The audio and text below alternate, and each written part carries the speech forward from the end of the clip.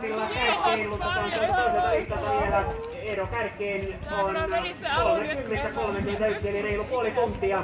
No en Antti tässä Kyrjäsellä meni kauemmin kuin tuo Ylisellä tuolla Ekstrin reitillä. Ajattelin, sä et kuule, mä nypsyin napit. jos- Niin oli, niin oli. Et sä edes kuule. Mulla oli Nyt tää meillä on haastattelupisteellä Oli- naisten Ekstrin sarjan kär- kärkikaksikko Susanna Ylinen ja Merja Rantanen, jotka järjesti ennennäkemättömän näytelmän taistelu tuolla Hivoksen metsissä ää, Ekstrin, Ekstrin matkalla. Ja Susanna Ylinen, onnittelut neljäs voitto Hivos Trail tapahtumissa putkeen ja nyt joudut varmasti kovemmille kuin koskaan aikaisemmin kerralla.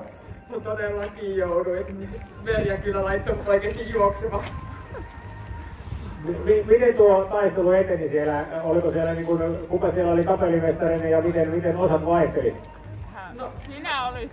Mä vedin sitä ekaa kierrosta ja vähän päälle ja sitten jossakin vaiheessa mulla tippui geeli ja mä jäin sitä noukkimaan ja mun mielestä sitä ei mennyt kuin sekunti, mutta Merjan selkä ehti jo karata siinä ja sitten Merja veti pitkälle ja hävisi kokonaan jossain, ehkä kun oli seitsemän tonnia jäljellä. Ja sitten tulikin selkä vastaan.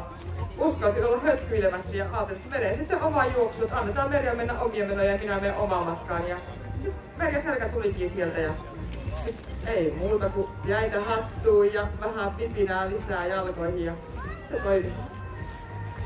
Himoksen polut on tunnetusti mutkaisia ja tuo ero meidän väliaikatietojen mukaan missään vaiheessa ollut sen isompi kuin puoli minuuttia, mutta selkä saattaa olla, että se ei enää näy siellä edessä. Mutta sitten mitä, mitä tapahtui Meri Rantasen, tuo puolen minuutin ero häipyi johonkin ja tota, sitten maalissa kolme minuuttia perässä ja aivan aivan viimeisen kilometrin aikana tuo ero repsahti niin kuin, iso, isoksi. Joo, mulla tuli noutaja. ei, siinä, ei siinä sen kummempaa ollut, että tota, no mun juomajuttu oli sieltä puusta noukittu pois. Mä en saanut sitä sinne että tuli vähän turhan pitkä tauko juomisesta, mutta, mutta olisi se noutaja tullut kuitenkin jossain vaiheessa, mutta olisi tullut toivottavasti vähän myöhemmin, mutta ei, ei mulla ollut mitään jakoja tuossa. Oli se viimeinen mäki, mitä sitten oli reilu pari kilsaa maaliin, hän meni ohite ja kannusti kyllä, että nyt vähän, mitä sä sanoit siinä vaan, niin, mutta kun en mä pysty. Sinne vaan selkäloittoni ja tota, ei, ei tosiaan ollut, ei, ei pystynyt vastaamaan. Eli käytännössä siellä energia pääsi, pääsi loppuun, mutta tämä oli ilmeisesti Meri Rantaselle pisin juoksukilpailu, mitä koskaan olet, olet suorittanut. Kyllä on, ja niin tota, Susanna veti se alkulenkin ja näin, että kuinkahan pitkään mä tässä kestän. Ja tota, oli kyllä hyvin yllättynyt, että pääsin sitten itsekin juoksemaan siellä sitten tämän geelijutun takia, tota, jäin noukkimaan, niin pääsin juoksemaan itse, itse eellä sitten. Mä en tiedä mitä mä puhun, mulla on, mä oon aivan nakit.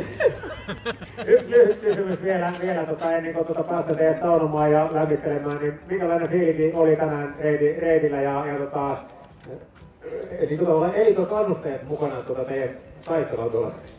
No siis täällä Hivoksella kisa kuin kisa, niin täällä on ihan huippumeininki, hyvin järjestettiin ja sitten kannustus on ihan loistava. Että kyllä oikein hyvin oli porukka tuolla mukana. Meri oli nyt ensimmäistä kertaa tässä tavallaan pää, päämatkan kärkitaistossa mukana täällä Himoksella. Ja minkälainen se oli, oli juosta tuolla ää, tota, niin tuttujen kannustajien ympäröiminen? No kyllähän se aika huikeeta on, kun kuuluu aina omaa nimeä monesta kohtaa, niin tota, aivan loistavaa. Kiitoksia ja toivottavasti nähdään tämä kaksi taistelua joskus tulevaisuudessa Himoksen puolella. Kiitos, mä voisin lähteä joskus Merion mukaan lenkille perästä katsomaan, miten sitä juostaa tuolla poluilla. Suunnistamaan. Tervetuloa. Ja sinne Suunnistamaan. Suunnistamaan. Kiitoksia ja molemmat näistä urheilijoista myöskin äi- äitiurheilijoista, eli molemmat valmentajat löytää